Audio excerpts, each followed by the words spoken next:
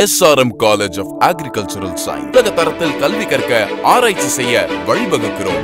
SRM college of agricultural சயின்ஸில் சேர திரையில் காணும் எண்களை தொடர்பு கொள்ளவும்.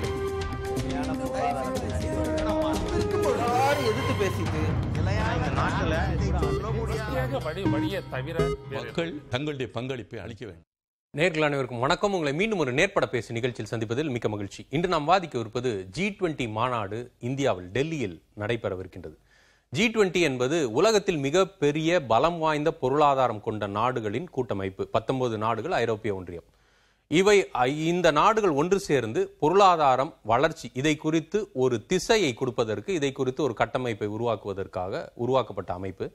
இது பல அரசுகள் நாடுகளிடையேயான அரசுகளிடையேயான ஒரு பேச்சுவார்த்தை மாநாடு என்ற அளவில் ஒருவேளை கடந்து போயிருக்கலாம். ஆனால் தற்போது இது உள்நாட்டு அரசியலில் ஒரு மிகப்பெரிய தாக்கத்தை ஏற்படுத்தும் அளவிற்கு இந்தியாவில் அது உருவாக்கப்பட்டிருக்கின்றது. இதற்கு அடிப்படை காரணம் இந்தியா வந்து உலகத்தின் ஒரு தலைமை பொறுப்பை ஏற்க தயாராகிவிட்டது. இந்தியா ஒரு விஸ்வ குருவாக உருவெடுத்திருக்கின்றது ஒரு விஸ்வரூபம் எடுத்திருக்கின்றது. உலகத்தை ஒரு குடும்பமாக இணைப்ப இணைக்க வாசுதெய்வ குடும்பகம் என்று இணைப்பதற்கான முயற்சிகளை எடுக்கின்றது என்று இந்திய அரசு அதை முன்வைக்கின்றது. எனவே இது இந்தியா இவ்வளவு நாள் இருந்ததெல்லாம் தாண்டி இப்பொழுது அடுத்த நிலைக்கு நாம் நகர்ந்திருக்கின்றோம். ஒரு தலைமை பண்பை தலைமை பொறுப்போடு எடுக்க நகர்ந்திருக்கின்றோம். பல பிரச்சனைகளை தீர்த்து வைப்பதற்கான நிலைக்கு சென்றிருக்கின்றோம் என்கின்ற ஒரு கட்டமைப்பு. இதில் எப்படியாக இந்தியா இருக்கின்றது? உண்மையிலே இந்த நிலைமைக்கு நாம் நகர்ந்திருக்கின்றோமா? இந்த நிலைக்கு இந்தியா முன்னேறிக்கின்றதா என்கின்ற ஒரு கேள்வி. மற்றொரு புறம் சொல்லப்படுகின்ற விஷயங்களை தாண்டி மறைக்கப்படுகின்ற விஷயங்கள் அதா அல்லது சொல்லப்படாத விஷயங்கள் அதிகமாக இருக்கின்றதா என்பதை குறித்து தான் நாம் பேசவிருக்கின்றோம்.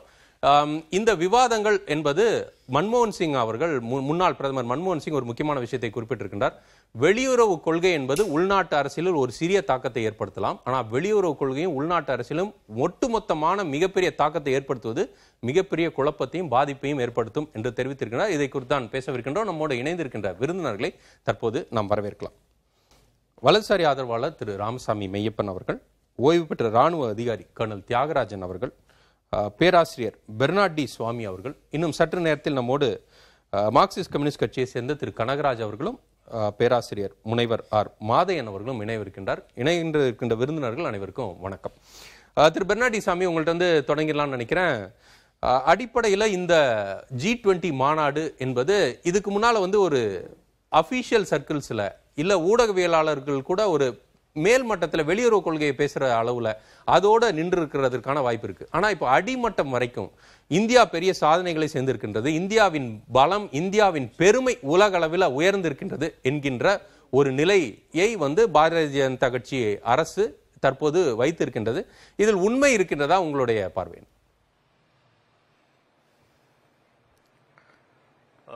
அதாவது இந்த ஜி பதினஞ்சு ஜி இருபது உச்சி மாநாடு வந்து இப்போ ஆரம்பிக்கக்கூடிய இந்த நிலையில் இந்தியா இதுக்கு வந்து தலைமையை ஏற்றிருக்கின்றது.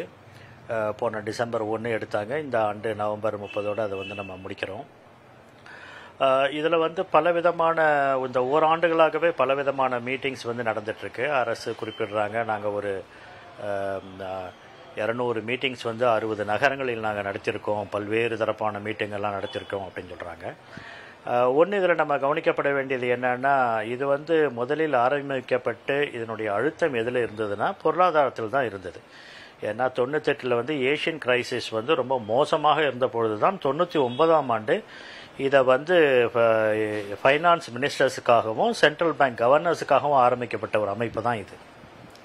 இதை தொடர்ந்து ரெண்டாயிரத்தி எட்டாம் ஆண்டு உலக அளவில் பொருளாதார வீழ்ச்சி ஒன்று ஏற்பட்ட பொழுது அப்பொழுதுதான் ரெண்டாயிரத்தி ஒம்போதுலேருந்து நம்ம எல்லாரும் நாட்டு தலைவர்களோட மர ஃபைனான்ஸ் மினிஸ்டர்ஸோடையும் சென்ட்ரல் பேங்க் கவர்னர்ஸோடையும் சேர்ந்து உட்கார்ந்தாதான் இதுக்கு ஒரு தீர்வு கிடைக்கும் என்ற முறையில் வர்றாங்க. அப்போ கார்டன் ப்ரவுன் என்ற பிரிட்டிஷ் பிரைம் மினிஸ்டர் வந்து ஒரு அஞ்சு ட்ரில்லியன் யூஎஸ் டாலரை உள்ளே கொண்டு வர்றார்.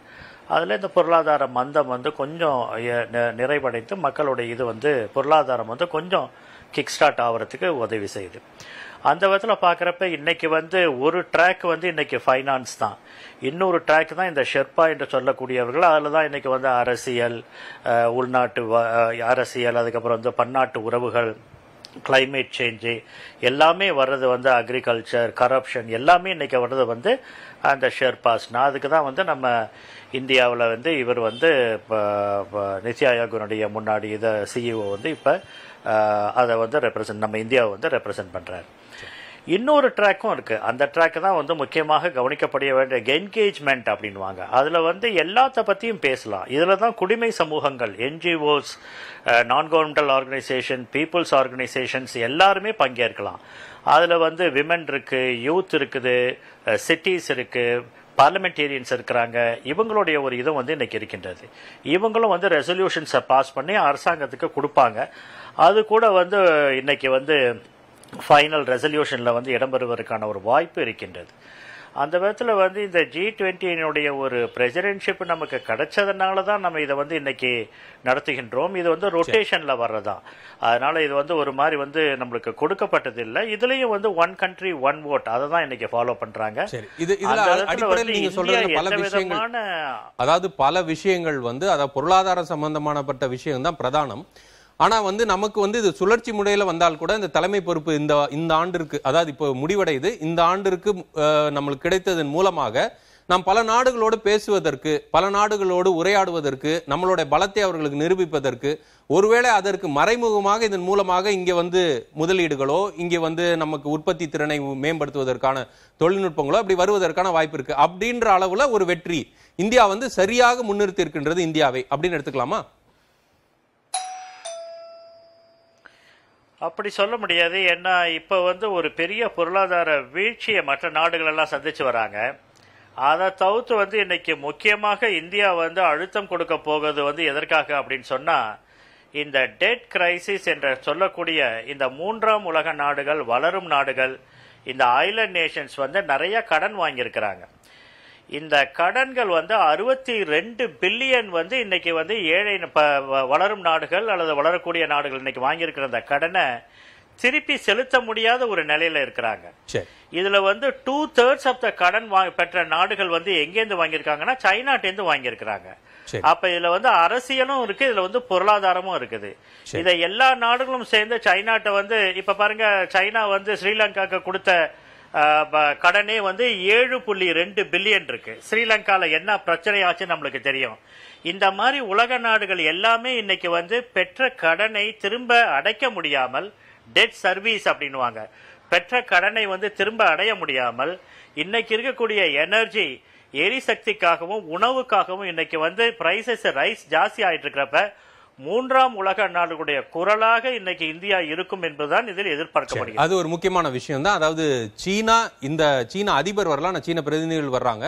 இந்த அடுத்தது ராணுவ ரீதியாக போர்கள் இருக்காது. பொருளாதார ரீதியாக தான் போர் இருக்கும் அப்படின்லாம் சொல்கிறாங்க அப்போ ஒருவேளை பொருளாதார ரீதியாக நசுக்கப்படக்கூடிய நாடுகளை உயர்த்துவதற்கான முயற்சியாக இந்தியா இந்தியா வந்து ஏழை நாடுகளின் தலைவன் ஏழை நாடுகளின் சாம்பியன் சொல்லலாம். தலைவன்றதை தாண்டி சாம்பியனாக உருவெடுப்பதற்கான வாய்ப்பு இருக்குன்றத சொல்றீங்க. அது உங்க முதற்கட்ட பார்வை எடுக்கிறேன். திரு கனகராஜ் அடிப்படையில் நரேந்திர மோடி அவர்கள் பல கட்டுரைகள் எழுதியிருக்கிறாரு. பல விஷயங்களை பேசுகிறார் எல்லாத்துலேயும் அவர் பேசுவது ஒற்றுமை ஒருமைப்பாடு மனிதம் சார்ந்த வளர்ச்சி ஜிடிபியை பார்க்காதீங்க பொருளாதாரத்தை பார்க்காதீங்க ஹியூமன் சென்ட்ரிக் க்ரோத் அப்படின்றத பேசுகிறாரு நாம் வந்து இந்த நாட்டில் நம்ம நாட்டில் அறுபத்தஞ்சு நகரங்களில் நடத்தியிருக்கோம். நூற்றி இருபத்தஞ்சு நாடுகளின் பிரதிநிதிகள் வந்திருக்காங்க. ஒரு லட்சம் பிரதிநிதிகளை கொண்டு வந்து நகர்த்தியிருக்கோம். வெறும் டெல்லி மட்டும் இந்தியா இல்லை இந்தியாவை முழுமைக்கும் காட்டியிருக்கோம். இந்தியாவின் ஜனநாயகம் மக்கள் தொகை நம்ம மக்களுடைய பண்பாடு ப- பன்முகத்தன்மை எல்லாத்தையும் காட்டியிருக்கோம்னு சொல்கிறாரு ஒரு ஒரு மிகப்பெரிய ஒரு ஸ்டேட்ஸ்மேன் உலக தலைவர் அப்படியான அளவில் மோடி பேசியிருக்கிறதை பேசியிருக்கிறாரு அப்படி இருக்கிறாரு. இதை அந்த அளவில் நீங்கள் பார்க்குறீங்களா? இல்லை எப்படி பார்க்குறீங்க? ராஜா வேஷம் கட்டினிட்டா நீங்கள் ராஜா நான் என்ன கேட்குறேன் ஜி டுவெண்ட்டியினுடைய டிக்ளரேஷன் ஏதாவது எந்த நாட்டையாவது கட்டுப்படுத்துமா? இப்போ ஜி செவன் சில முடிவுகள் எடுக்கிறாங்க அவங்களுக்குள்ள கட்டுப்படுத்துது. ஜி செவன் ஜி டுவெண்ட்டியினுடைய முடிவுகள் யாரையாவது கட்டுப்படுத்துமா? நீங்கள் ஏதோ இந்த இருக்கிற நகரங்களுக்கு போனாங்க அப்படி ஆயிடுச்சு இப்படி ஆயிடுச்சுலாம் நீங்கள் பேசிகிட்டு இருக்கீங்கல்ல. என்ன பண்ணிக்கிட்டு இருக்காங்க இப்போ? இன்னைக்கு டெல்லியில் என்ன பண்ணிக்கிட்டு இருக்காங்க? ஊரில் இருக்க நாயெல்லாம் பிடிச்சி உள்ளே போட்டுக்கிட்டு இருக்காங்க. என்ன இந்தியா வந்து நீங்கள் வந்து குடிசை வீடுகளை எல்லாம் இடிக்கிறதன் மூலம் அல்லது வந்து மறைப்பதன் மூலம் இந்தியாவினுடைய பெருமையை நீங்கள் பறைசாற்றிடுவீங்களா? ஒற்றுமையை பற்றி இவர் பேசும்போது உலகத்தில் இருக்கிறவங்களுக்கெல்லாம் தெரியாதா? மணிப்பூரில் என்ன நடந்தது? ஹரியானாவில் என்ன நடந்தது? அப்படிங்கிறத பற்றி யாருக்கும் தெரியாதா? என்ன விதமான நாடகம் இது?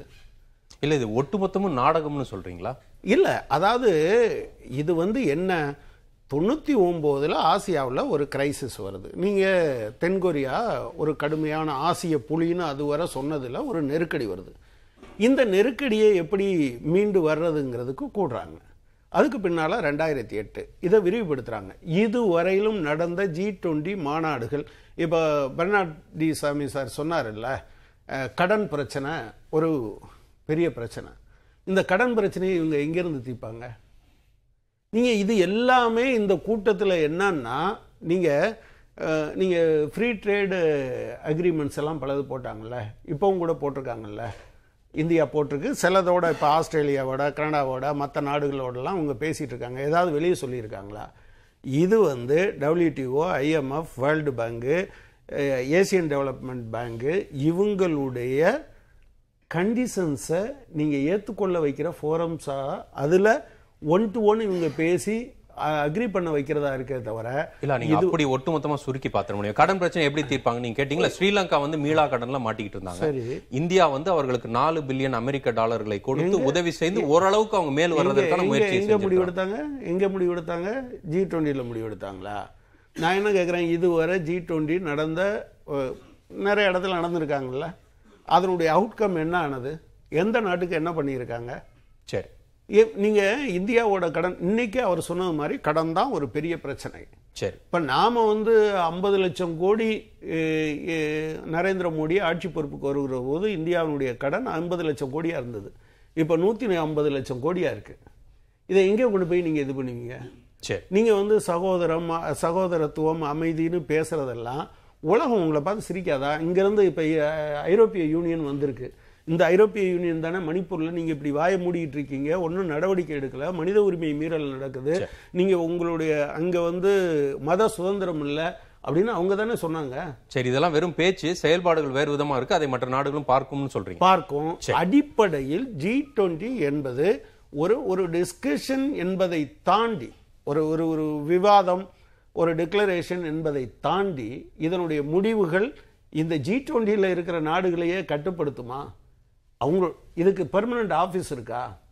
இதுக்கு வந்து நிரந்தரமான நிர்வாகிகள் என்று யாராவது இருக்காங்களா? இவர் வேற ஒன்றும் உள்நாட்டில் சாதிக்க முடியாத ஒரு ரொட்டேஷனில் வந்த ஒன்றை வச்சுட்டு உலகம் முழுவதும். தன்னை இந்தியாவுக்குள்ள தன்னை தம்பட்டம் அடித்து காட்டிக் கொள்வதற்காக இவர் ன்னு தங்கத்துல. தங்கத்துல நீங்க வந்து சாப்பாடு தங்கத்தட்டுல கொடுத்தீங்கன்னா உங்களை எப்படி மதிப்பாங்களா அவங்க? எதுக்காக தங்கத்தட்டு? சரி இந்த கேள்விகள்லாம் இருக்கு. இந்தியாவின் பொருளாதார நிலைமை இருக்கும் பொழுது எப்படின்றதை கேட்குறீங்க திரு கர்னல் தியாகராஜன் அவர்கள். அதாவது இந்தியாவின் அளவில் இந்தியாவின் பெருமையை உலகத்திற்கு சொல்லும் விதமாக இல்லாமல் ஒரு தனிநபரின் பெருமையை சொல்லும் விதமாக இருக்குதுன்னு சொல்லி வாஷிங்டன் போஸ்ட் ஒரு கட்டுரை எழுதியிருக்கிறாங்க. அதாவது டெல்லியில் எங்கே திரும்பினாலும் மோடி அவன்ற ஒற்றை நபரின் முகம் தான் வந்து அங்கே தொடர்ச்சியாக இருக்குது. இதை நாங்கள் வந்து பலர்கிட்ட கேட்கும் பொழுது இது வந்து ஒரு பிராண்டிங் எக்ஸசைஸ்ன்னு சொல்கிறாங்க அப்படின்னு பாஜக சார்ந்தவர்கள் ஆர்எஸ்எஸ் சார்ந்தவர்கள் எல்லாத்தையும் பேசி அவங்க ஒரு கட்டுரை எழுதியிருக்கிறாங்க. அப்படி இருக்கும்போது கனகராஜ் அவர்கள் சொல்றது போல இது வந்து ஒரு உலகத்திற்கு ஒரு பிராண்டிங் எக்ஸசைஸா மட்டும்தான் இருக்குதா? இல்ல இந்தியாவின் பலத்தை காட்டும் விதமாக இருக்குதா? ஒரு நல்ல ஒரு கேள்வி வந்து கேட்டிருக்கீங்க. இன்னைக்கு வந்து ஒரு ஸ்டேட்மெண்ட் வந்து கொடுத்திருக்காரு அதாவது யூகே உடைய பிரைம் மினிஸ்டர் வந்து கொடுத்திருக்காரு. ஒரு இந்த ஜி டுவெண்ட்டி அப்படிங்கிற இந்த சமிட் இந்த வந்து மாநாடு என்பது மிகவும் சரியான நேரத்தில் மிகவும் சரியான தேசத்தில் மிகவும் சரியான தலைமையில் நடந்து கொண்டிருக்கின்றது அப்படின்னு வந்து கொடுத்திருக்காரு. இப்போ வந்து இப்ப பிஎம் உடைய யூகே உடைய பிஎம் உடைய வார்த்தை எடுப்பதா? இல்ல அங்க இருக்கக்கூடிய மீடியாவுடைய வார்த்தை எடுப்பதாங்கிறது வந்து மக்களுடைய ஆப்ஷன்ல நான் வந்து விடுறேன். இதை தாண்டி நம்ம பார்க்கும்போது ஜி டுவெண்ட்டி ஒண்ணுமே கிடையாது அப்படின்னு நம்ம சொல்ல முடியாது. ஜி டுவெண்ட்டி ஒண்ணுமே இல்லை அதுக்கு வந்து பவரே கிடையாது எதுவுமே செய்ய முடியாது அப்படின்னு இவ்வளவு நாடுகள் வந்து ஒன்றிணைந்து இதை வந்து கொண்ட போறது அப்படிங்கிறதுக்கு மீனிங் இல்லாத இருக்கும். அப்படி மீனிங் இல்லாம யாரும் இந்த விஷயம் செய்ய மாட்டாங்க. ஜி டுவெண்ட்டின் அக்கௌண்டபிலிட்டி நம்ம பார்த்தோம் அப்படின்னு எண்பத்தைந்து சதவீதம் குளோபல் குளோபலோட ஜிடிபி வந்து அதில் இருக்கு. அது மாதிரி two third of world population வந்து அதில் இருக்கு. மிக ஒரு பவர்ஃபுல்லான ஒரு ஆர்கனைசேஷன் ஆனால் பவர்ஃபுல்னா உடனே வீட்டோ பவர் இருக்கா இது இருக்கா அதுக்கு அதெல்லாம் இல்லை. எல்லாருக்கும் ஃப்ளெக்சிபிலிட்டியோட எந்த விதமான வந்து அழுத்தமும் இல்லாமல் அவர்கள் வந்து எடுத்திருக்கின்ற ஒவ்வொரு விஷயத்தையும் நம்ம வந்து பார்க்கலாம். இப்போ அந்த ஜி டுவெண்ட்டியில் வந்து எக்கனாமிக் பெனிஃபிட்ஸ் வந்து நம்ம வந்து பார்க்கலாம். ஜி டுவெண்ட்டியை வந்து இப்போ இந்தியாவினுடைய என்ன வந்து பெனிஃபிட் ஆயிருக்கும் அப்படின்னு நம்ம வந்து பார்க்குறப்ப ப்ரொமோட் எக்கனாமிக் வந்து இன்ட்ரெஸ்ட் வந்து நம்ம ப்ரொமோட் பண்ணலாம். கிரேட்டர் அக்சஸ் டு மார்க்கெட் வந்து நம்ம அஹ், அதை ரீச் பண்ணலாம். இன்வெஸ்ட்மெண்ட் ஃப்ளோ வந்து அதிகப்படுத்தலாம். ஃபேவரபிள் ட்ரேடை வந்து நம்ம கொண்டு வரலாம். இது வந்து இன்வெஸ்ட்மெண்ட் அக்ரிமெண்ட் போடலாம். பதினைஞ்சு நாடுகளுக்கு மேலே வந்து நமது பாரத பிரதமர் வந்து பேசியிருக்காரு. வந்து அக்ரிமெண்ட் வந்து போட இருக்காங்க. ஸோ மிகப்பெரிய ஒரு மாற்றத்தை வந்து இந்தியாவுக்கு கொண்டு வரும் அப்படிங்கறதுல வந்து மாற்று கருத்து கிடையாது. பொலிட்டிக்கல் பெனிஃபிட்ஸ் வந்து நம்ம வந்து பாக்குறப்ப நிச்சயமாக நம்மளுடைய ப்ரொஃபைல உலகத்துல வந்து குளோபல் ஸ்டேஜ்ல மிகப்பெரிய ஒரு லெவல்ல கொண்டு போறதுக்கு மிகப்பெரிய உதவியாக இருக்குங்கிறது மாற்று கருத்து வந்து கிடையாது. அது மாதிரி இந்தியாவினுடைய இன்ஃப்ளூயன்ஸ் வந்து வேர்ல்டு அதாவது வந்து நம்ம டிப்ளமசியில வந்து வேர்ல்டு இன்ஃப்ளூயன்ஸ் வந்து இது ஏற்படுத்துவதற்கு மிக மிக ஒரு ஒரு சரியான ஒரு. அதை இந்தியா அப்படிதான் பயன்படுத்தி இருக்குதா? அல்லது பிராண்ட் மோடி அப்படின்னு சொல்லி பிரதமரின் ஒரு பிராண்டை முன்னிறுத்துறதற்காக மட்டும்தான் இருக்குதா? ஏன்னா ஒரு நாட்டை ஒரு நபரோடு சேர்த்து இருக்கக்கூடாது. இந்த மாதிரி தவறுகளை பல காலங்களில் செஞ்சுருக்கிறாங்க. India is Indira Indira is இந்தியான்ற மாதிரியான கோஷங்களும் முழக்கங்களும் அந்த காலங்களில் இருந்திருக்கு. ஆனால் அப்படி இவ்வளோ பெரிய நாட்டை ஒரு ஒரு நபரோடு அவர் பிரதமராக கூட இருக்கலாம். அ- அப்படி ஒரு நபரோட சுருக்கி பார்ப்பது சரியாக இருக்குமா? அப்படின்ற ஒரு கேள்வியும் பலரும் வைக்கிறாங்க. இந்தியாவினுடைய வந்து அவர் பாத்தீங்கன்னா தன் மட்டும் அவர் வந்து இது பண்ண ஒரு இந்தியானா இந்தியாவுடைய பிரதமர் வந்து தலைவராக இருக்கிற அவருடைய போட்டோ தான் போடுவாங்க அவருடைய பேர் தான் எழுதுவாங்க. அதுல வந்து எதிர்க்கட்சி தலைவனுடைய வந்து பேரையோ போட்டோவையோ அங்க போட முடியாது. அதுதான் வந்து உண்மையான ஒரு நிதாசனமான ஒரு உண்மை அப்படின்னு சொல்லலாம். நம்மளுடைய கலாச்சாரம் பண்பாடு எல்லாவற்றையும் அதுல வந்து ரிஃப்ளெக்ட் பண்ணியிருக்காரு. ஒவ்வொரு இடத்துல பண்ணிருக்காரு உணவில் இருந்து ஆரம்பிச்சு அங்க இருக்கக்கூடிய அந்த அமைப்புல இருந்து ஆரம்பிச்சு எல்லாத்துலயும் அவர் வந்து பண்ணியிருக்காரு. ஒரு விஷயம் நான் வந்து ஆட் பண்ணணும்னு விருப்பப்படுறேன். அதாவது வந்து மூத்த சகோதரர் வந்து கேட்டார் இது வந்து ஜி டுவெண்ட்டி இது வரைக்கும் என்ன பண்ணியிருக்கு? ஒன்றுமே பண்ணது கிடையாது அப்படின்னு சொல்லி. நம்ம திருப்பி வந்து நம்ம வரலாற்றை திருப்பி பார்க்கும்போது ரெண்டாயிரத்தி ஒம்பது லண்டன் சமிட் அதில் நீங்கள் பார்த்தீங்கன்னா யுஎஸ் அது உலகம் வந்து மிகவும் டிப்ரெஷன்லேருந்து போகக்கூடிய ஒரு நிலையிலேருந்து திருப்பி மீட்டு கொண்ட வந்த மிக முக்கியமான ஒரு நாற்பத்தி ஏழு பாயிண்ட்ஸ் வச்சு மீட்டு கொண்டு வந்தது இந்த ஜி டுவெண்ட்டிங்கிறத வந்து நம்ம வந்து மறக்க முடியாது. அது மாதிரி நம்ம திருப்பி ரெண்டாயிரத்தி பதிமூணுல வந்து நம்ம பார்க்கும்போது ரெண்டாயிரத்தி பதினாறுல பார்க்கும் பொழுது உலகத்தினுடைய அந்த குளோபலுடைய growth strength அந்த growth வந்து ஸ்ட்ரென்தன் பண்ணது நிச்சயமாக இந்த ஜி டுவெண்ட்டி நாடுகளுடைய முயற்சிக்கு தான் வந்து போகும். இல்ல இல்ல முயற்சி எடுத்தாங்க? எப்படி செட்டில் ஆச்சு? என்னென்ன முயற்சி எடுத்தாங்கன்னு சொல்லுங்க. இல்ல நீங்க ஜெனரல் டேர்ம்ஸ்ல சொல்றீங்க. எப்படி தான் பலரும் சொல்றீங்க. ஜெனரல் டேர்ம்ஸ் இல்ல இல்ல இல்ல பலதும் வந்து ஜெனரல் டேர்ம்ஸ்ல சொல்லல. உங்களுக்கு கிளியரா நான் உங்களுக்கு வந்து சொன்னேன். இதனுடைய வந்து அமைப்பு அப்படிங்கிறது வந்து இந்த ஜி டுவெண்ட்டினுடைய அமைப்புல வந்து முதல்ல எக்கனாமிக் வந்து பெனிஃபிட்ஸ் வந்து வரும். பொலிட்டிக்கல் பெனிஃபிட்ஸ் அதுல இருக்கும். சாஃப்ட் பவர் பெனிஃபிட்ஸ் இருக்கும். டெக்னாலஜிக்கல் பெனிஃபிட்ஸ் இருக்கும். அது மாதிரி நீங்க அட்ராக்ட் ஃபாரின் இன்வெஸ்ட்மெண்ட் இருக்கும் ப்ரமோட் சஸ்டைனபிள் வந்து டெவலப்மெண்ட்ஸ் இருக்கும். அதுக்காக தான் ஒரு நாடு இன்னொரு நாடோடு தன்னுடைய எக்கனாமிக் வந்து பைலேட்டரல் பண்றது அதற்காக எம்ஓயு பண்றது தன்னுடைய வந்து எக்ஸ்போர்ட்டை வந்து அதிகப்படுத்துவது தன்னுடைய டெக்னாலஜி அதிகப்படுத்துவது பல வந்து முயற்சிகள் எடுப்பாங்க ஒரு விஷயத்துல. நீங்க- சொல்றதெல்லாம் இருக்கும் இருக்கும் இருக்கும் இருக்கும். நான் கேட்கறது ரெண்டாயிரத்தி இல்ல இல்ல. ஒரே ஒரு விஷயம். ரொம்ப காங்கிரீட்டா வர ரெண்டாயிரத்தி ஒன்பதுல நீங்க ரெண்டாயிரத்தி எட்டுல சப்ரைம் கிரைசிஸ் வந்த பிறகு ஜி டுவெண்ட்டி தான் இதை மீட்கிறதுக்கு காரணமா இருந்தீங்க இருந்ததுன்னு சொன்னீங்க. அதுல எக்கனாமிக்கலா ஜி டுவெண்ட்டி எந்த வகையில் உதவியது அல்லது வ- அதுல இருந்து வெளியே வர்றதுக்கு எதெல்லாம் உதவுச்சுங்கிறது. இதுல இருக்க இந்தியாவோ சைனாவோ அதுல பாதிக்கப்படல மத்தவங்க எல்லாம் பாதிக்கப்பட்டாங்க. காங்கிரீட்டா எக்கனாமிக்கலா இந்த மாதிரி செஞ்சாங்கன்னு ஒண்ணு சொல்லுங்க. One point one trillion US டாலருடைய அந்த மெஷர் ஸ்டிமுலஸ் பேக்கேஜஸ் கொண்டு வந்து உலகத்தினுடைய டிப்ரெஷனை வந்து திருப்பி கொண்டு வந்தாங்க. போயிட்டு நீங்க வந்து கூகுள்ல போயிட்டு இரண்டாயிரத்தி ஒன்பது பிசிக்கல் டெபிசிட்ட எப்படி 47 ஆக்ஷன் பாயிண்ட வச்சு கொண்டு வந்தாங்கங்கறத போய் நீங்க சர்ச் பண்ணீங்கன்னா உங்களுக்கு இத பத்தி தெரியும். இல்ல இல்ல, இல்ல, இல்ல, இல்ல. 1.1 அதை trillion. யாரு கொடுத்தாங்க? யாரு கொடுத்தாங்க? மானிட்டரி ஃபண்ட் வந்து அவங்க பண்ணுவாங்க. ஒவ்வொரு நாடு வந்து தன்னுடைய வந்து இத பார்ட்டிசிபேஷன் பண்ணுவாங்க. 47 ஏழு பாயிண்ட்ஸ் கொண்டு வந்திருக்காங்க. சார் யாருக்கு கொடுத்தாங்க? அந்த. பணத்தை யாருக்கு நாற்பத்தி. கொடுத்தாங்க? ஒன் பாயிண்ட் ஒன் ட்ரில்லியன் டாலரை யாரு கொடுத்தாங்க? யார் பாதிக்கப்பட்டவர்களோ அவங்களுக்கு கொடுத்தாங்க சார். இல்ல இல்ல அதான் ஒரு நாட்டை சொல்லுங்க ஒரு நாட்டை சொல்லுங்க. யாருக்கு? எல்லா நாடுகளுக்கும் கொடுத்தாங்க. உலகம் சொல்றாங்க இதுல. இல்ல, இல்ல, இல்ல. அதுதான் நான் சொல்றேன். அது முழுக்க முழுக்க கார்ப்பரேட்டுக்கு கொடுத்ததை. தவிர கார்ப்பரேட் கொடுத்ததை தவிர ஒரு நாட்டுக்கு நீங்க ஒரு. நாட்டை ஸ்பெசிஃபை பண்ணி உங்களால சொல்ல முடியாது சார். சொல்லுங்க. நீங்க எடுத்த இது வந்து நாடுகளுடைய அதாவது வந்து ஜி டுவெண்ட்டி நாடுகளுடைய ஒரு கூட்டமைப்புல நீங்க ஏன் கார்ப்பரேட் எங்க கொண்டு வரீங்கன்னு எனக்கு தெரியல இல்ல இல்ல நான் அதான் உங்ககிட்ட கேக்குறேன் ஒரு நாட்டுக்கு? கொடுத்ததை சொல்லுங்க. நீங்க நீங்க சொல்லுங்க எந்த கார்ப்பரேட் கொடுத்தாங்க நான் இல்லைன்னு சொல்ல- பாயிண்ட் ஒன் ட்ரில்லியன்ல எல்லாமே நாடு நாடுகளுக்கு எந்தெந்த நாடு நான் நான்- சொல்றேன். நான் சொல்றேன் அமெரிக்கா. அமெரிக்கா அமெரிக்கா ஆர்ம்ஸ் ப்ரொடக்ஷன்ல ஈடுபட்ட எல்லாத்துக்கும் அதை கொடுத்தாங்க நான் நீங்க அமெரிக்கா சொல்லுங்க அந்த சொல்லல. அமெரிக்கா அவங்க நாடு கொடுத்தது சொல்லல. One point one trillion depression வெளில கொண்டு வந்தது பத்தி யாருக்கு. கொடுத்தாங்கன்னு. ஒரு நாட்டு பேர் சொல்லல. கர்னல் தியாகராஜன் நாட்டு பேர் சொல்ல நீங்க கொடுத்த நிறுவனங்கள் பெரிய கார்ப்பரேட் நிறுவனங்கள் கொடுத்தாங்க. அந்த அந்த. நிறுவனங்கள் அதைத்தான் சொல்றேன். அங்க உள்ள ஆர்ம்ஸ் ப்ரொடியூஸ் பண்ற நிறுவனங்களுக்கெல்லாம் அமெரிக்கா கொடுத்தது. நான் என்ன கேக்குறேன்னா நீங்க ஒரு நாடு என்று சொன்னா இப்ப நீங்க யூரோப்பியனுடைய அனைத்து நாடு உலகமே டிப்ரெஷன்ல போய் சார். ஒரு நாடு சொல்லுங்க உலகத்துல இருந்த எல்லா நாடுமே டிப்ரெஷன்ல இருந்தது. யாரு நீ கேக்குற கொடுத்தாங்க கேள்விக்கு சார்? வந்து ஒரு ஒரு- யாரு ஒரு மீனிங் இல்லாம கொடுத்தாங்க? இல்லையே. சரி ஒரு ஒருவேளை ஒருவேளை சரி இந்த இந்த விவாதத்தை நான் இன்னும் இன்னும் வேற விதமா நகர்த்த விரும்புறேன். ஒருவேளை கனகராஜ் என்ன சொல்றாருன்னா அந்த அந்த நிதியை வந்து ஒருவேளை ஐஎம்எஃப்க்கு சேனல் பண்றாங்க. ஐஎம்எஃப் வந்து அதை மற்ற நாடுகளுக்கு கொடுக்குது. அப்படி கொடுக்கும்போது பல கண்டிஷன் போடுது. அந்த கண்டிஷன்லாம் மக்களுக்கு விரோதமாக இருக்குதுன்ற ஒரு துணியில சொல்றாரு ம- திரு கனகராஜ் அப்படி எடுத்துக்கலாமா? இல்ல அதுவும் கூட அது தனித்தனியா தான் நடந்தது. அது வந்து மல்டிலேட்டரலா எங்கேயும் நடக்கல. சரி. பைலேட்டரலா தான் நடந்தது.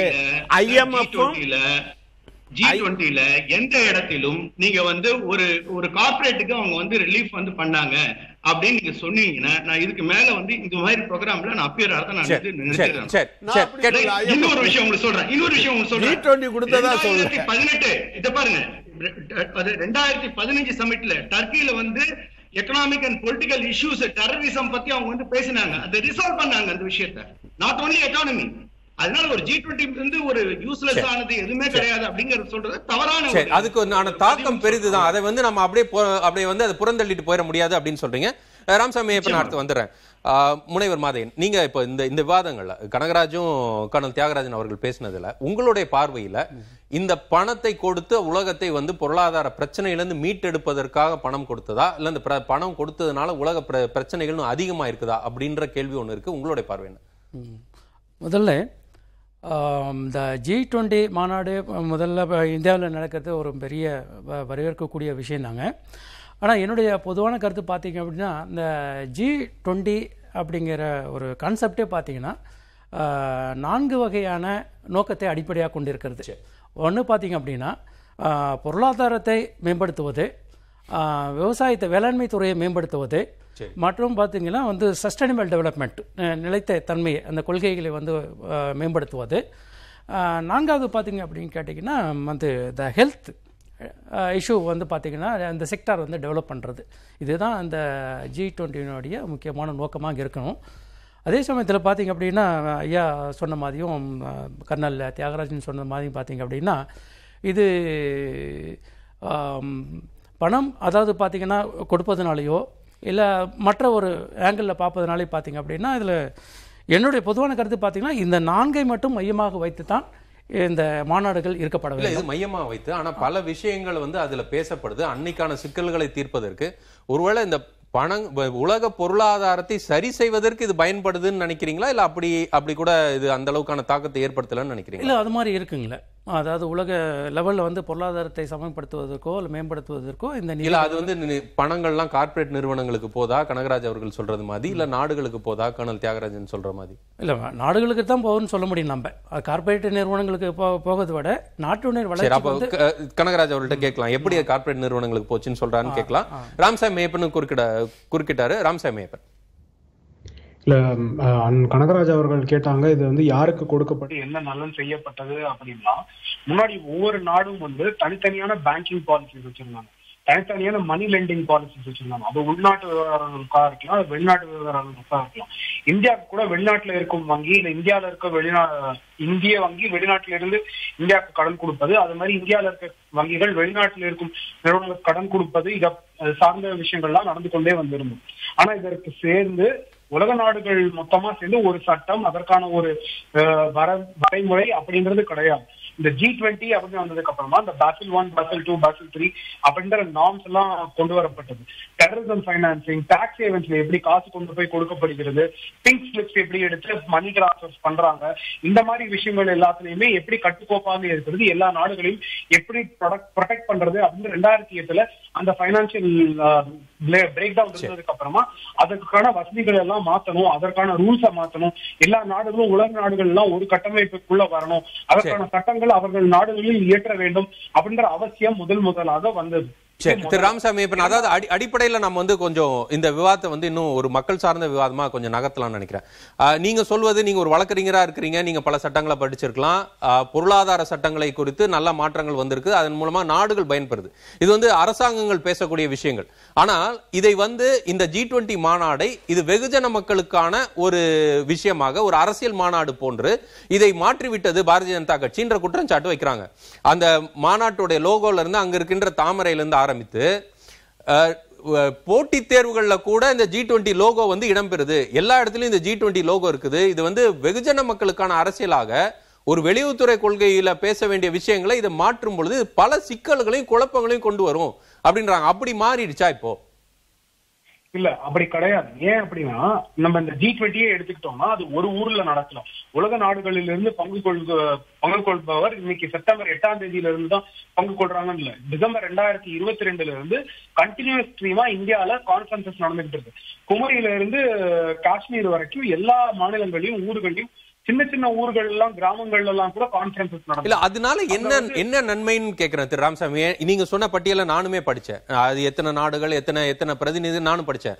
ஆனா அதன் மூலமாக இந்தியா வந்து இவ்வளவு பெரிய நாடு நல்ல நகரங்கள் இருக்கு இதையெல்லாம் வந்து அந்த வெளிநாட்டு பிரதிநிதிகளுக்கு காட்டுறதற்கு வசதியா இருக்கும். ஆனா அந்த லோக்கல் கனெக்ட்ன்றது எப்படி இருந்ததுன்னு கேக்குறேன். அது அது வந்து எல்லாருக்குமான பிரதி எல்லாருமே அதுல சேர்ந்து பங்கேற்றாங்கன்னு நீங்க சொல்றீங்க இல்லையா? அந்த வாய்ப்பு எப்படி உருவாச்சுன்னு கேக்குறேன். தமிழ்நாட்டிலையும் புதுச்சேரியும் ஏழு கான்ஃபரன்சஸ் நடந்தது. இது இல்லாம தமிழ்நாடு மாணவர்களும் புதுச்சேரியை சார்ந்த மாணவர்களும் இந்தியா முழுக்க இருக்கிற கான்ஃபரன்சஸ்ல பார்ட்டிசிபேட் பண்ணாங்க. எனக்கு தெரிஞ்சு காரைக்குடியில இருந்து சிவகங்கையில இருந்து திருச்சியில இருந்து சிறிய கிராமங்கள் மேட்டூர் பக்கத்துல இருந்து ஆனமலையில இருந்து அங்க இருக்க ஃபாரஸ்ட் ரேஞ்சரா இருக்கிறவர்கள் வந்து சிலர்லாம் நலந்தால போய் கான்ஃபரன்ஸ்ல பங்கேற்றுக்கிட்டாங்க. அதனோட பயன் என்ன அப்படின்னா உலக நாடுகளில் அவர்கள் அவர்கள் சார்ந்த துறைகள் அவர்கள் சமூகம் சார்ந்தவர்கள் அவர்கள் விஷயங்கள் சார்ந்து ஒவ்வொருத்தரும் எப்படி பங்கு கொள்கிறார்கள் அவர்கள் நாடுகளில் என்ன மாதிரி கலாச்சாரம் இருக்கிறது இவர்கள் எல்லாருக்கும் அதற்கான பயில்கிறதற்கான வாய்ப்போ இல்ல அவர்களுடன் பழகிறதுக்கான வாய்ப்போ அவர்கள் வாழ்வியல் முறை அவர்களோட சிஸ்டம் இதெல்லாம் கத்துக்கிறதுக்கான வாய்ப்பு கிடையாது. இந்த சரி. கல்ச்சுரல் அண்டர்ஸ்டாண்டிங் ஒண்ணு. இரண்டாவது அவர்களோட சிஸ்டமிக் அண்டர்ஸ்டாண்டிங் இப்ப அவர்களிடம் ஒரு நல்ல பழக்கம் இருக்கு இல்ல ஒரு சிஸ்டம்ல ஒரு நல்ல பழக்கம் இருக்கு. இப்போ கென்யால வந்து ஒரு நல்ல ஃபாரஸ்ட் சிஸ்டம் வந்து நல்ல சுற்றுலாத்துறைக்கு உபயோகமான ஒரு முறையை வைத்திருக்கிறார்கள். இப்ப அந்த முறையை எப்படி வந்து நம்ம இந்தியால கொண்டு வர முடியும்? அது ஆனமலையில கொண்டு வர முடியும் அப்படின்றது இவரோட பங்கேற்பு. கென்யாக்கு போயிட்டு தான் வந்து கத்துக்கணும் அப்படிங்கிற அவசியம் கிடையாது. இவரோட சரி. யூனிவர்சிட்டி நடந்த கான்ஃபரன்ஸ்ல போய் பார்த்து அவர் கத்துக்க முடியும். நம்ம இப்ப புதுச்சேரியில இருக்க பாண்டிச்சேரி டெக்னிக்கல் யூனிவர்சிட்டியும் பாண்டிச்சேரி யூனிவர்சிட்டியும் இருக்கிற மாணவர்கள் அங்க ஒரு கான்ஃபரன்ஸ் நடந்தது. உலக இந்த மாதிரியான ஒரு பரிமாற்றங்கள் உருவாக்குவதற்கு அது ஒரு வசதியை ஏற்படுத்தி இருக்குது அப்படின்றத சொல்றீங்க. இதன் மூலமாக அங்க வந்து பல கலந்துரையாடல்கள் நடந்திருக்குது. இந்தியா வந்து இதை வந்து பரவலாக்கி இருக்கிறாங்க இது வெறும் அரசோட சார்ந்த நிகழ்வாக இல்லை அப்படின்றத சொல்றீங்க. ஒரு இடைவெளி எடுக்கணும். சுருக்கமாக திரு கனகராஜ் அடிப்படையில பல விஷயங்களை செய்திருக்காங்க. ஒரு கலந்துரையாடல் நடந்திருக்கு. அதை நீங்க வந்து புறந்தள்வதற்கோ அதை குறை சொல்வதற்கோ நாடகம்னு சொல்றது அது எப்படி சரியா இருக்குன்ற ஒரு விஷயம். எங்க பிரிக்ஸ் நடக்கும்போது நீங்கள் இப்படி பண்ணீங்களா? ஷாங்காய் நடக்கும்போது இப்படி பண்ணீங்களா? இதில் வேறு எந்த ரீஜனல் கோஆப்ரேஷன் பிராந்தியம் சார்ந்த ஒத்துழைப்பு கூட்டமைப்புகள் இருக்கு. அப்பெல்லாம் இப்படி பண்ணீங்களா? ஒன்றுலையும் அப்படி இல்லையா. ஆனால் அதுல எல்லாம் G twenty is beyond economic affair அப்படிங்கிற போது அதற்கான தேவைகள் மாறுது இல்ல இல்ல, இல்ல. பிரிக்ஸ் வந்து வெறும் பைனான்சியல் மேட்டர் பிரிக்ஸ் வந்து ஒரு வங்கி. பிரிக்ஸ் வந்து ஒரு ஃபைனான்சியல் கோஆபரேஷன் அக்ரிமெண்ட் மட்டும். அது எப்படி ஃபைனான்ஸ் பண்றது? நாட்டுல இருக்க இன்ஃப்ராஸ்ட்ரக்சர் ப்ராஜெக்ட் எப்படி ஃபைனான்ஸ் இல்ல பண்றது? ராமசாமி இப்ப பிரிக்ஸ் அப்படி சொன்னோம்னா ஜி டுவெண்ட்டியின் தொடக்கமும் அப்படிதானே. பொருளாதாரம் சார்ந்து தானே ஜி டுவெண்ட்டியோட தொடக்கமும் பிரிக்ஸும் அந்த மாதிரியான விஷயங்கள் தான். பொருளாதாரம் மட்டும் கிடையாது. மக்களின் மேம்பாடு. நீங்க வந்து இந்தியாவோட இந்த சார், ஒரே ஒரு விஷயம். ஒரே ஒரு குறுக்கிறாங்க ஒரு இது சொல்லிடுறேன் நீங்க அதுக்கும் சேர்த்து பதில் சொல்லுங்க. ஒண்ணும் இல்ல. இந்தியா வந்து இந்த ஜி டுவெண்ட்டியை வந்து டிசம்பர் ரெண்டாயிரத்தி இருபத்தி ரெண்டு கொடுக்கும்போது வெறும் எக்கனாமிக் இண்டிகேட்டர் மட்டும் இது ஆரம்பிச்ச போது இருந்த மாதிரி ரெண்டாயிரத்தி எட்டுல இல்ல ஆயிரத்தி தொள்ளாயிரத்தி தொண்ணூத்தி ஒன்பதுல கிடையாது. இன்னைக்கு அதற்கான ப்ரியாரிட்டிஸ் மாறிடுச்சு. நம்ம இந்தியா வந்து இந்த இதை லீட் பண்ணும்போது கிரீன் டெவலப்மெண்ட் என்ன கிளைமேட் இண்டிகேட்டர்ஸ் என்ன மக்கள் உலக மக்கள் எல்லாருமே வளம் பெற வேண்டும். இந்த வசுதேவ குடும்பம் அப்படின்னு நம்ம இந்த செப்டம்பர்ல அதை வந்து துவக்கம் ஆனதை வந்து முடிக்கிறோம் அப்படின்னா உலக நாடுகள் எல்லாமே ஒரு குடும்பமாக உலக வளர்ச்சிக்காக மக்களின் வளர்ச்சிக்காக மக்களின் சுமையை குறைப்பதற்காக என்னெல்லாம் செய்ய வேண்டிய அவசியம் இருக்கு? அது. என்வாயர்மெண்ட் இல்ல இல்ல. ராமசாமி ஐயப்பன் பேசுறது எவ்வளவு அழகா இருக்கு. எல்லாத்தையும் ஒருமைப்படுத்துவது மக்களை சேர்க்கணும் மக்களின் சுமையை குறைக்கணும். அப்படி இருக்கு. நீங்க இதெல்லாம் நாடகம்னு புறந்தளமா நீங்க ஏதோ நெகட்டிவா பாக்குறீங்க. நீங்க ரொம்ப சினிக்கலா பாக்குறீங்கன்ற மாதிரி திரு கனகராஜ் சுருக்கமா வச்சிருங்க. நான் மற்றவர்கள்ட்ட போயிடுறேன். அவர் பேசுறது எவ்வளவு அழகா இருந்தது நீங்க பேசுறது ஏன் அதை சினிக்கலா நீங்க பாக்குறீங்கன்னு கேட்குறேன் ரொம்ப ஒண்ணுமே இல்லாம அப்படி அழகெல்லாம் கட்டலாம். இப்ப நீங்க ஒற்றுமைன்னு பேசுறீங்கல்ல இம்பாலில் இருந்த கடைசி பத்து குக்கி ஃபேமிலிகளும் ஆயுதப்படையின் பாதுகாப்போடு அந்த இடத்திலிருந்து மலைப்பகுதிக்கு அனுப்பி வைக்கப்பட்டார்கள். இது ஒற்றுமையை காப்பாற்றுறதா எத்தனை கிளீன்சிங் நீங்கள் ஏதோ உங்களுடைய பாரம்பரியத்தெல்லாம் நீங்கள் சொல்கிறீங்க அப்படின்னு சொல்லி. நான் உங்கள்கிட்ட கேட்குற ஒரே ஒரு விஷயந்தான் நீங்கள் வந்து குடிசை குடிசையும் இந்த நாட்டினுடைய ஒரு பகுதி தானே? அதை எதுக்கு மறைக்கிறீங்க? எதுக்கு மறைக்கிறீங்கன்னு சொல்லுங்கள் ஆயிரத்தி தொள்ளாயிரத்தி முப்பத்தி ஆறு ஒலிம்பிக் நடந்தபோது ஹிட்லர் எப்படி தன்னை மட்டும் முன்னிறுத்தினாரோ அதே மாதிரின்னு பல்வேறு பத்திரிகைகளும் எழுதுறாங்க. இல்ல நீங்க மறைக்கிறீங்கன்னு சொன்னா அவங்க அறுபது நகரங்கள்ல இந்தியாவில் உள்ள அறுபது நகரங்களுக்கு ஜி டுவெண்ட்டி கான கலந்துரையாடலை நகர்த்திருக்காங்க இதுக்கு முன்னால ஏதாவது ஒரு மாநாடு அது டெல்லியை தாண்டி நகர்ந்ததை பெரிய அளவுக்கு பார்த்திருக்கிறோமா? இவர்கள் வந்து மகாபலிபுரத்தில் சி ஜின்பிங் வர்றாரு. அகமதாபாத்துக்கு கொண்டு போ கூட்டு வர்றாரு. இப்படி பல நாடுகள் அந்தமான் வரைக்கும் நம்ம போகிறோம் ஜம்மு காஷ்மீர்லேருந்து அந்தமான்லேருந்து வடகிழக்குலேருந்து எல்லா இடத்தையும் கொண்டு காட்டுறாரு நீங்கள் மறைக்கிறான்னு சொல்கிறீங்க அவர் காட்டுறாரு.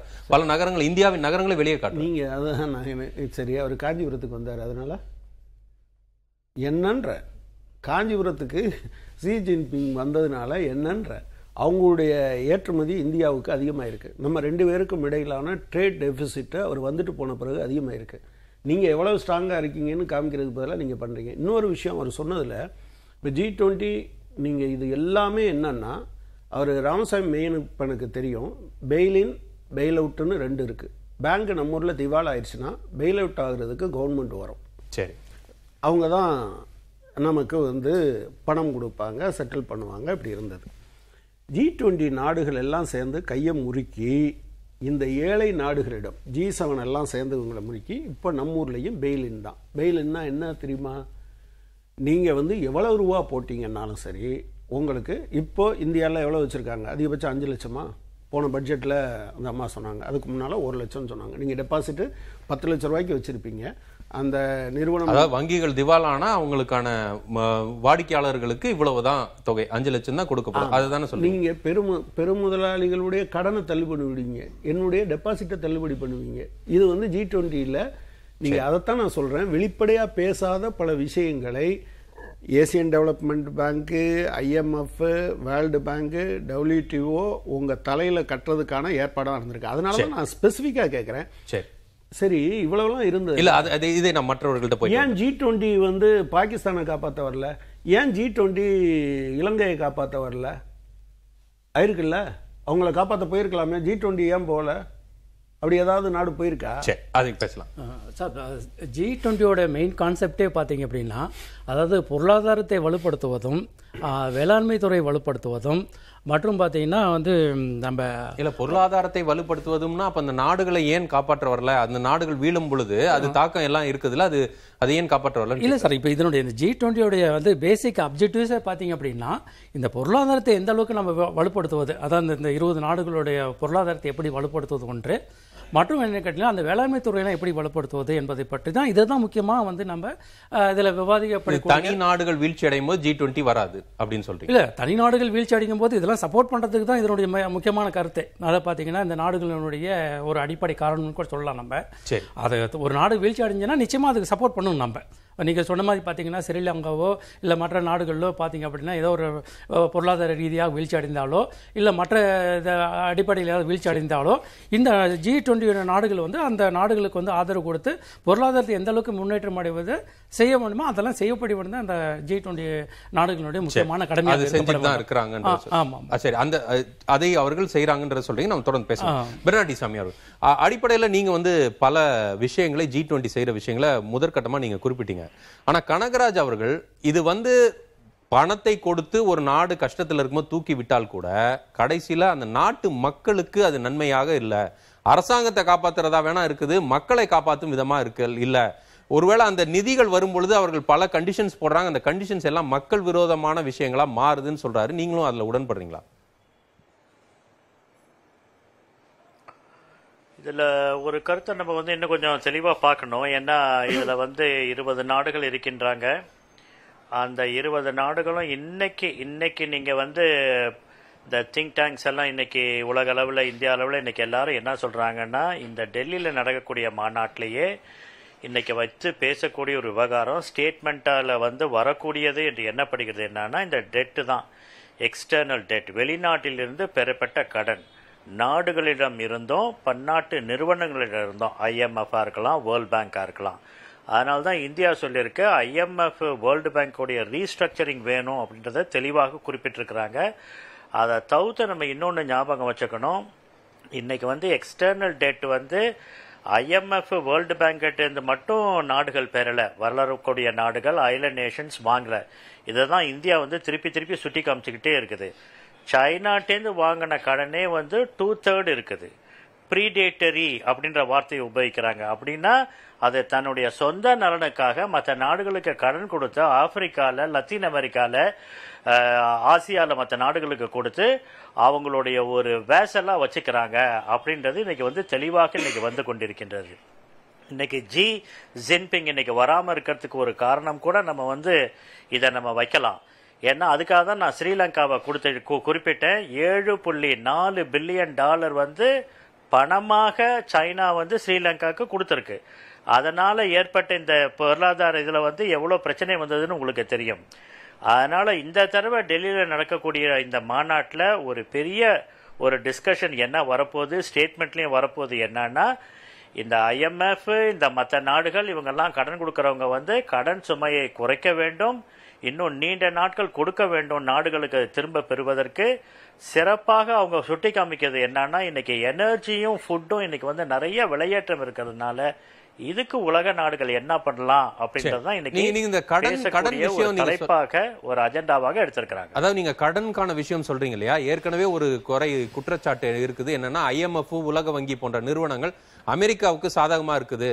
அவர்கள் வந்து அமெரிக்கா நலன்களை தொடர்ச்சியாக அவர்கள் பேணுவதற்கு மற்ற நாடுகளுக்கு கடன் கொடுத்து அந்த நாடுகளை அவர்களுக்கு அடிமையாக்கி கொள்றாங்கன்ற ஒரு குற்றச்சாட்டை தொடர்ச்சியா ஒரு பக்கத்துல வைக்கிறாங்க. இன்னொரு பக்கத்துல நீங்க சொல்றீங்க இப்ப சைனா கொடுத்திருக்கிற கடன் அந்த நாட்டுக்கு உதவி செய்யல அந்த நாட்டை வந்து இன்னும் அடிமைப்படுத்துவதற்கான முயற்சி தான் சொல்றீங்க. அப்ப பணத்தை யார் கொடுப்பதுன்ற ஒரு கேள்வி இருக்குல்ல பெரிய நாடுகள் வல்லரசுகளாக இருக்க நாடுகள் தானே பணம் கொடுக்கும் அது பணத்தை யார் கொடுப்பா இப்போ வந்து இந்த இது பொருளாதாரத்தில் வந்து இந்த டெட்டு நீங்கள் எடுத்துக்கிட்டீங்கனாலே கடன் எடுத்துக்கிட்டிங்கனாலே ஐஎம்எஃப் வேர்ல்டு பேங்க்கு எங்கேருந்து வருது பணம்? இது உலக பணக்கார நாடுகள் இந்த பணக்கார பேங்க்குகள்லாம் கொடுக்குற பணம் தான் வேர்ல்டு பேங்க்கும் ஐஎம்எஃப்க்கும் அவங்க தான் இதை வந்து ஏழை நாடுகளுக்கு வளரும் நாடுகளுக்கு கொடுக்குறாங்க. அதில் வந்து நிறைய அரசியல் இருக்கின்றது அதை நம்ம வந்து குறைத்து மதிப்பிடவில்லை. ஆனால் ஒரு நாடே இன்னைக்கு வந்து இன்னைக்கு கடன் கொடுத்து கொண்டிருக்கின்றது. அதன் மூலமாக அந்த நாடுகளை அடிமையாக்கி கொண்டிருக்கின்றது. அப்படின்றது இன்னைக்கு தெள்ள தெளிவாக வந்து கொண்டிருக்கும் போது இதையும் நாம் கணக்கில் எடுத்துக்கொள்ள வேண்டும். அதனால தான் இந்த டெட் சர்வீசிங் திரும்ப இந்த கடன்களை திருப்பி கொடுப்பதில் தான் இன்னைக்கு வந்து பல நாடுகள் இன்னைக்கு வந்து கஷ்டப்படுகின்றன. அப்படி கஷ்டப்படும் போது தான் அந்த நாட்டில் வந்து விலையேற்றங்கள் சாதாரண பொருளுடைய விலையேற்றம் வந்து அதிகமாக இருக்கின்றது.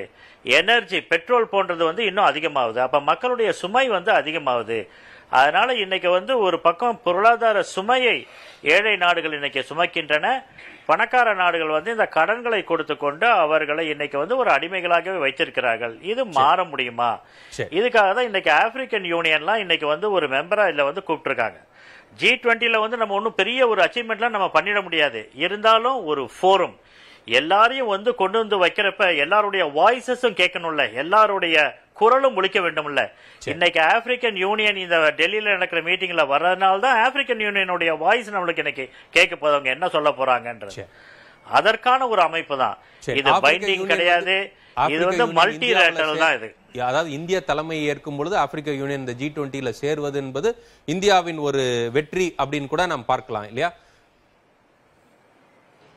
கட்டாயமா? ஏன்னா காந்தி காலத்திலேருந்தே நம்ம சவுத் ஆப்பிரிக்காக நம்ம வந்து ரொம்ப தெளிவா நம்ம போராடிட்டு இருந்தோம் ரெண்டு நாடுகளுக்கு நம்முடைய சப்போர்ட் வந்து ரொம்ப தேவைப்பட்டுச்சு. பலஸ்தீனுக்கும் சவுத் ஆப்பிரிக்காவுக்கும் இது ரெண்டும் நேரு காலத்திலேருந்து நம்ம கடைசி வரைக்கும் நம்ம கொடுத்து கொண்டிருக்கின்றோம். கர்னல் தியாகராஜன் அடிப்படையில இந்தியாவுக்கு நல்ல விஷயங்கள் நிறைய விஷயங்கள் வரலாம். இந்த சப்ளை செயின் அதாவது உற்பத்தி வலைப்பின்னல் நமக்கு வந்து நம் நாட்டில் நிறைய உற்பத்தி செய்யறதற்கான வாய்ப்புகளை ஏற்படுத்தலாம். இதெல்லாம் குறித்து பிரதமர் பேசுறாரு.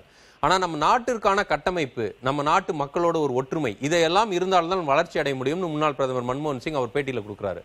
ஆஹ், உள்நாட்டுல செய்ய வேண்டிய விஷயங்கள் நம்ம செய்ய தவறி இருக்கிறோமா இல்ல செஞ்சிட்டு இருக்கிறோமா? உள்நாட்டு இப்ப நீங்க பாத்தீங்கன்னா இப்ப நம்ம நம்மளுடைய நாட்டில் யாராவது சொன்னா நம்ம வந்து அதை வந்து ஏற்றுக்க மாட்டோம். அது நம்மளுடைய வந்து ஒரு சைக்காலஜின்னு சொல்லலாம். நம்ம வந்து ஒரு வேர்ல்டு பேங்கோ இல்ல உலக வங்கியோ யூஎன்ஓ இல்ல வந்து ஒரு வாஷிங்டன் போஸ்டோ அது மாதிரி யாராவது சொல்ற செய்திகள் பிபிசியோ அதுதான் நமக்கு வந்து ஒரு அத்தன்டிக்கான ஒரு விஷயமா புரியும். அப்படி பார்க்குறப்ப வேர்ல்டு பேங்க் வந்து இப்போ சொல்லியிருக்காங்க இந்தியா வந்து மிகப்பெரிய உச்சத்தை அடைந்திருக்கின்றது அப்படின்ட்டு. நியூஸை போய் நீங்க பார்க்கலாம் அவங்களுடைய இந்த டிஜிட்டல் இம்ப்ளிமெண்டேஷனால மிகப்பெரிய உச்சத்தை அடைந்திருக்குது. ஆறு ஆண்டுகளில் வந்து ஐம்பது ஆண்டுகளில் வந்து அடையக்கூடிய விஷயத்தை ஆறு ஆண்டுகளில் வந்து அடைஞ்சிருக்காங்க. இது வந்து மிகப்பெரிய ஒரு இம்பாக்ட் வந்து உலகத்துக்கு வந்து கொடுக்கும். ஒரு பாடத்தை கொடுக்கும் அப்படின்னு வந்து அவங்க சொல்லியிருக்காங்க. வேர்ல்டு பேங்க் சொல்லியிருக்காங்க நான் சொல்லலை. இதை தாண்டி நம்ம பார்க்குறப்ப ஒரு அழகான ஒரு கேள்வி. ஒரு ஆர்கனைசேஷன் அப்படின்னு சொன்னா உலகத்துல வந்து நெளிந்த நாடுகளுக்கு உதவ வேண்டும் தேவையான நாடுகளுக்கு உதவ வேண்டும். ரெண்டுமே இருக்கு. சில நாடுகள் நெளிந்த நாடுகளாக இருக்காது. ஆனா அவர்களுக்கு மற்ற தேவை இருக்கும் பாதுகாப்பு தேவை இருக்கும்.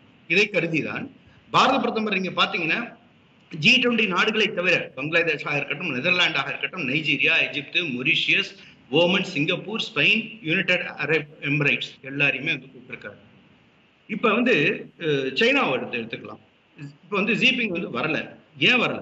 அதே வந்து மிகப்பெரிய வெற்றி ஜி டுவெண்ட்டி ஜி டுவெண்ட்டியை கண்டு அவர் வந்து ஒரு மிகப்பெரிய கலக்கத்திலும் மிகப்பெரிய ஐயத்திலும் இருக்கின்றார் அப்படின்னு தான் வந்து சொல்ல முடியும். ஏன்னு கேட்டால் ரெண்டு விஷயம். ஒன்னு வந்து அவங்களே எந்த இடத்துல டிஸ்பியூட் லேண்டு இருக்கோ அவங்களே வந்து தன்னுடைய வந்து மேப்பை வந்து மாத்தி இது எங்களுடைய இடம் அப்படின்னு சொல்லிட்டு அவங்க வந்து தெரிவிச்சிருக்காங்க. அது ஒண்ணு. அவங்க செய்யக்கூடிய சைக்கலாஜிக்கல் வார்ஃபேர் எப்போதுமே வந்து ஒரு சீப் பாப்புலாரிட்டி சீப் விஷயத்துக்கு அவங்க செய்யக்கூடிய விஷயங்கள். அதையும் தாண்டி நம்ம பார்க்கும்போது அழகா வந்து மூத்த சகோதரர் சொன்னார் அதாவது வந்து ஒரு அந்த டெப்டை வச்சு எப்படி வந்து ஒரு நாட்டை வந்து தான் வந்து கைப்பற்றுவது அப்படிங்கிறது அதுலயும் வந்து பல நாடுகள் வந்து சிக்கி இருக்கின்றது அது அந்த கேள்விகள். இது மாதிரி வந்து ஒரு ஒரு ஜாகிரபிக்கல் விஷயமான விஷயமாக இருக்கட்டும் ஒரு எக்கானமியோட விஷயமாக இருக்கட்டும் பல விஷயங்கள் வந்து அவங்க வந்து பதில் சொல்லக்கூடிய நிலையில் இருப்பதால் அவரே வந்து வரல. சைனா சைன் அதிபர் ஜி G20 ஜின்பிங் வராதது ஒரு வெற்றின்னு சொல்றீங்க. ஆனா அது பிரதமர் வந்திருக்கிறார் நாட்டின் பிரதமர் வந்திருக்கிறார் அவங்க பிரதிநிதிகள் வந்திருக்கிறாங்க. ஆனா சி ஜின்பிங் வராதது ஒரு வெற்றின்னு நீங்க பாக்குறீங்க. நிச்சயமா நான் மட்டும் பார்க்கல. உலகத்தில் இருக்கக்கூடிய அரசியல் விமர்சகர்கள் அவர்கள் வந்து ஆராய்ச்சியாளர்கள் அவர்கள் சொல்லக்கூடிய விஷயம். ஏன் வரல அப்படின்னு ஒரு கேள்வி கேட்கறாங்க என்ன காரணம் என்ன? இப்ப சில நாடுகளுடைய வந்து தலைவர் வரலன்னா அவங்களுக்கு வந்து கோவிட் வந்திருக்குன்னு இருக்காங்க. சில நாடுகளுடைய தலைவர் வரலன்னா அதுக்கு ஒரு காரணம் சொல்லியிருக்காங்க. காரணம் இல்லாமல் வருவதற்கான விஷயம் என்னன்னா அவரால் அதற்கான ஆன்சரை சொல்ல முடியாது பதிலளிக்க முடியாது. உலக அளவுல சைனாவை கொண்டு ஒரு நெருக்கி ஒரு இடத்துல நிறுத்தி இருக்கிறதே இந்தியாவுக்கு ஒரு வெற்றின்னு சொல்றீங்க. நிச்சயமாக மாற்றுக்கருத்தே கிடையாது. ஜி. டுவெண்ட்டிக்கான வெற்றி இந்தியாவிற்கான வெற்றி அதை தலைமை தாங்கக்கூடிய பாரத பிரதமருக்கான. கனகராஜ் கனகராஜ் பெர்னாடி சாமி அவர்களும் சைனா வந்து கடன் எக்கச்சக்கமா கொடுத்து பல நாடுகளை அழுத்தி வச்சிருக்கு. அதை நம்ம கேள்வி கேட்க போறோம். இப்போ அவர் வராததே ஒரு வெற்றின்னு சொல்றாரு உங்களோட நிறைவுப்பாடு அவங்கள இதுலேருந்து கழட்டி விட்டுற வேண்டியதானே அவங்ககிட்ட வாங்காமல் விட்டுற வேண்டியதானே ஐஎம்எஃப்பும் வேர்ல்டு பேங்கும் அல்லது டபிள்யூடிஓவும் அமெரிக்காவும் பிரான்ஸும் ஜெர்மனியும் ஜப்பானும் கடனை கொடுத்து இதுலேருந்து விட்டுற வேண்டியதானே நீங்கள் சாதாரணமாக என்ன பண்ணுவீங்க? ஒரு ரெண்டு பேர் இருக்கீங்க. சார் அதிக வட்டி கொடுக்குறாரு. நீங்கள் தாராள பிரபு குறைஞ்ச வட்டிக்கு இருப்பீங்க ரெண்டு பேரும் ஆப்ஷன் இருந்தால் நான் உங்கள்கிட்ட தானே வாங்குவேன். பெர்னாடி சாமி சார் சொன்னார் நான் கேட்குறேன் பாகிஸ்தானுக்கு இப்போ பெயில் அவுட் பேக்கேஜ்னு ஐஎம்எஃப் சொல்லுச்சு. இல்லையா? அவங்க சொல்லும்போது என்ன வ- சொன்னாங்க? வட்டியை குறைச்சாங்க. ஆனால் என்ன பண்ணாங்க? நீங்கள் வந்து ஃபியூவல் சப்சிடியை கட் பண்ணிடணும் எனர்ஜிக்கு கொடுக்குற எல்லா சப்சிடியும் கட் பண்ணணும். ஃபுட் சப்சிடியை கட் பண்ணணும். நீங்கள் அதானே சார் இந்தியாவிலையும் நடக்குது? நீங்கள் சாருக்கு அவங்க ரெண்டு பேரும் பொருளாதாரத்தில் வல்லுநர்கள். நான் பாலிடிக்ஸில் இருக்காள் என்னை விட அவங்களுக்கு நல்லா தெரியும். கொரோனா வந்துடுச்சு தமிழ்நாடு பிரச்சனை. சரி. மாநிலங்களுக்கு பிரச்சனை. நீங்கள் கடன் வாங்குறதுக்கு ஒரு கட்டுப்பாடு வச்சாங்க. மூணு சதவீதம். நான் கடன் வாங்குறதுக்கு நீ ஏன் கட்டுப்பாடு வைக்கிற? சரி ரைட்டு விட்டுட்டேன் சரி இது வந்த உடனே நீங்கள் கடனை கூடுதலாக வாங்கிக்கலாம் அஞ்சு சதவீதம் வரை. அதில் புள்ளி ரெண்டு அஞ்சு சதவீதம் மட்டும்தான் வித்தவுட் கண்டிஷன் நான் கடன் வாங்க முடியும். சரி. அதுக்கு மேலே இருக்கிற நான் கூட பாயிண்ட் ஃபைவ் பர்சன்ட்டு நான் கடன் வாங்கலான்னா யார்கிட்ட? அது அவங்க அனுமதிச்சதை வாங்கணும்னா எனக்கு நாலரை சதவீதம் வட்டி கிடைக்கும். இல்லைன்னா நான் பதினேழு ஏழு சதவீதம் ஓப்பன் மார்க்கெட்டுக்கு போகணும். நான் வந்து எலக்ட்ரிசிட்டியில் சொல்லியிருக்கக்கூடிய ரிஃபார்ம்ஸ் எல்லாம் நான் இம்ப்ளிமெண்ட் பண்ணோம். ரிஃபார்ம்ஸ் என்னது? நம்பர் ஒன்று நீங்கள் வந்து சப்சிடி எல்லாத்தையும் நிறுத்தணும். நம்பர் ரெண்டு ஃப்ரீ சப்ளையை ஃப்ரீ கரண்ட் கொடுக்குறத இது இது இறுதியில வந்து மக்களுக்கு வந்து மின்சாரம். அந்த- இலவச மின்சாரம் வந்து மேலோட்டம் அப்படி. சொல்றீங்க. கர்னல் வந்து ரொம்ப கவலைப்பட்டாரு. சைனா பண்ணது தப்பு மேப்ல போட்டது. நீங்க நாடாளுமன்றத்துக்குள்ள நேபாள இந்தியாவோட சேர்த்து வச்சிருக்கிறதுக்கு பேர் என்னது? ஆண்ட பாரதம்னு பேசுறதுக்கு பேர் என்னது? நான் இன்னொன்னு கேட்கறேன் இல்ல. எந்த எந்த பத்திரிகை எழுதியிருக்கு? ஐம்பது ஆண்டுகள்ல இல்லாத வளர்ச்சியை ஆறு ஆண்டுகள்ல அடைஞ்சிருக்காங்கன்னு எந்த பத்திரிகை எழு- எழுதியிருக்கு? இப்படி சொல்லிக்கிட்டே போவாங்க. அப்புறம் இதையே உதாரணமா மாத்துவாங்க. ஏதாவது ஒரு சரி. பத்திரிகை சொல்ல சொல்லுங்க. ரெண்டாவது- விஷயம் நான் கேட்குறது ஆனால் எந்த பத்திரிக்கையும் ஒரு எழுபத்து எழுபது வருஷமாக நம்ம வாங்கின கடனை போல ரெண்டு மடங்கு கடன் இந்த காலத்தில் தான் வாங்கியிருக்கோங்கிறத ஒருத்தரும் சொல்லி அது ஏன் உங்களுடைய கவனத்துக்கு வர மாட்டேங்குது உங்களுக்கு- இதை நிறைவா வச்சுறேன். ராம்சாமி மேப்பன் நீங்க சுருக்கமா வச்சிருங்க. இந்தியா வளர்ச்சி அடைகிறது எந்த பத்திரிகையும் சொல்லன்னு சொல்றாரு. சுருக்கமா உங்களுக்கு நிறைவாரு இந்தியா வளர்ச்சி அடையுது அப்படின்றத இன்னைக்கு இருக்கிற திங்க் டேங்க்ஸ் எல்லாமே நம்ம சாத்தம் ஹவுஸ்ல இருந்து பெட்லிங்ஸ் வரைக்கும் எல்லாருமே சொல்லி ஐம்பது வருஷம் ஆறு வருஷம். அதைத்தான் சொன்னேன். மன்னிக்கணும்? இல்ல இல்ல அதாவது ஐம்பது வருடத்தில் இல்லாத வளர்ச்சியை ஆறு ஆண்டுகளில் அடைந்து விட்டார்கள் அப்படின்னு ஒரு கண்ணோட்டமும் எங்க இருந்து பார்வை வருகிறது அப்படின்றதையும் சொல்றேன். கர்னல் கர்னல் தியாகராஜன் அதை சொன்னாரு. அந்த பத்திரிகை பேர் சொல்ல முடியுமா கர்னல் தியாகராஜன்? எல்லா பத்திரிகைகளும் வந்திருக்கின்றது. நான் சொன்னது அவர் தவறாக புரிஞ்சிட்டு இருக்காரு நான் என்ன சொன்னேன் அப்படின்னு சொன்னா இந்தியா டிஜிட்டலில் வளர்ந்திருக்கின்ற வளர்ச்சி நல்லா புரிஞ்சு டிஜிட்டல் மூலமாக வளர்ந்திருக்கின்ற வளர்ச்சி ஐந்து சகாப்தங்களில் வந்து ஐந்து டெக்கேட்ஸ்ல வர்றத ஆறு வருடங்களில் அவர்கள் வந்து செஞ்சிருக்காங்க. இது உலகம் நாடுகள் வந்து மிகப்பெரிய இம்பாக்ட் வந்து கொடுக்கும் அப்படின்னு கொடுத்திருக்காங்க. அவர் வந்து இன்று இருக்கின்ற எல்லா நியூஸ் பேப்பர்லையும் பார்க்க சொல்லுங்க. டைம்ஸ் ஆஃப் இந்தியால இருந்து ஆரம்பிச்சு எக்கனாமிக்ஸ் டைம்ஸ்ல இருந்து ஆரம்பிச்சு எக்கனாமிக்ஸ் டைம்ஸ்ல வந்து இருக்கு அதுல நீங்க வந்து பார்க்க சொல்லுங்க. சொன்னது வந்து யாருன்னா வேர்ல்டு பேங்க் வந்து சொல்லியிருக்காங்க. சரி உலக வங்கி சொல்லியிருக்குன்னு சொல்றாரு. சரி. திரு ராம்சாமி நீங்க முடிச்சிரு ஜி டுவெண்ட்டி இன்னைக்கு இந்தியால நடக்குது அப்படின்றது பெருமையான விஷயம் மட்டும் கிடையாது. நம்ம அதுல இருந்து என்னெல்லாம் எடுத்துக்கொண்டு போகணும் நம்ம மக்களுக்கு என்னெல்லாம் தேவை அப்படின்றது பார்க்க வேண்டிய அவசியம் இருக்கு. ஒன்று முதல் முறையாக நம்ம உலகம் மொத்தமா ஒரு குடும்பம் அப்படின்னு தாண்டி நம்ம வந்து இன்னைக்கு உலக நாடுகள் எப்படி வந்து ஒவ்வொருத்தரும் பகிர்ந்து கொள்ள முடியும்? அவங்க வந்து நேச்சுரல் ரிசோர்சஸ் ஒண்ணு இரண்டாவது எனர்ஜி ரிசோர்சஸ் ரெண்டாவது. இன்னைக்கு வந்து இந்தியா வந்து இந்த கிரீன் அலையன்ஸ் தனியா இன்னொன்னு ஆரம்பிச்சிருக்காங்க. சரி. அதுவும் இந்த ஜி டுவெண்ட்டி சார்பாக எனர்ஜி எப்படி எஃபிஷியன்டா நேச்சுரல் ரிசோர்சஸ்ல இருந்து handle பண்ணணும் நம்ம அடுத்தது நான் ரெனியூபிள் யூஸ் பண்ணக்கூடாது அப்படின்னு. இதை. தாண்டி மக்களுக்காக என்ன அப்படின்றத வந்து நம்ம பேசிட்டு இருந்தோம். இதுல இருக்க ஒரு பைனான்சியல் பாலிசி வந்து நம்ம பார்க்க வேண்டிய அவசியம் இருக்கு. என்பிஎஃப்சிஸ் எல்லாம் எப்படி லோன் கொடுக்கலாம் அவர்களை எப்படி சப்போர்ட் பண்ணலாம் அப்படின்றது சென்ட்ரல் பேங்க் இப்படி இப்படி பல்வேறு விஷயங்கள் இருக்குன்றத சொல்றீங்க திரு ராம்சாமி. அதாவது இன்னும் இன்னைக்கு நம்ம லாரி ஓட்டுறவங்க ட்ரக் ஓட்டுறவங்க மளிகை கடை வச்சிருக்கவங்களுக்கு எல்லாம் அந்த என்பிஎஃப்சி தான் கடன் கொடுக்குது. அதனால. அந்த பயனும் அங்கிருந்து வருகிறது அப்படி நம்ம பார்க்க வேண்டியது இருக்கு. நம்ம மக்கள் டைரக்டா பயனடைவாங்க. சரி நேரடியா மக்கள் பயனடைவாங்க சொல்லி திரு மாதேன் உங்களுக்கு நிறைய பாரு. சுருக்கமா ரொம்ப சுருக்கம். சார் வந்து இந்த மாநாட்டுக்கு வந்து ரஷ்ய அதிபர் வரல இல்லை சீன அதிபர் வரல அப்படிங்கிறது ஒரு சொல்றாங்க. ஆனால் என்னுடைய பொதுவான கருத்து என்னன்னு கேட்டிங்கன்னா அதாவது இவங்க வந்து அஹ், ம- ம- மறைமுகமாக இந்த பிரிக்ஸ் உடைய ப்ரொமோட் பண்றதுக்காக இப்படி இருக்கலாம். ஏன்னு கேட்டிங்கன்னா இந்த ஜி டுவெண்ட்டியில் ஜி இருக்கிற முக்கியத்துவத்தை குறைத்து பிரிக்ஸின் முக்கியத்துவத்தை கூட்டுவதற்காக இருக்கும். அது- அதனால ஜி ஜின்பிங் வராதது வந்து நம்மளுக்கு வெற்றின்னு எடுத்துக்க முடியாது. ஆமா வெற்றின்னு எடுத்துக்க முடியாது.